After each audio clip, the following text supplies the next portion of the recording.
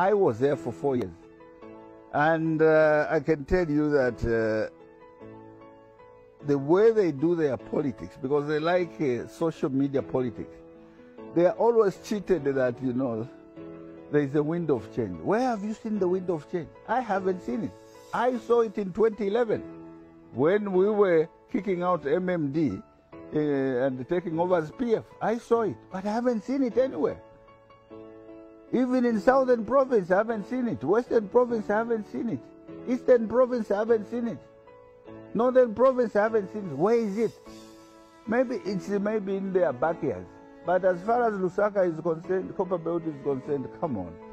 That's a joke of the year. But I know them. That's how we were practicing politics in UPND.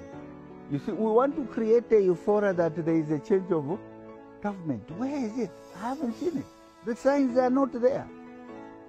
The signs may come in due course, not today, not in 2020, 2021, not even 2026. I don't see them forming government. They're just wasting their time. So I want to advise the people of Zambia, they should not be misled by that, uh, I mean, by the opposition that they are taking over.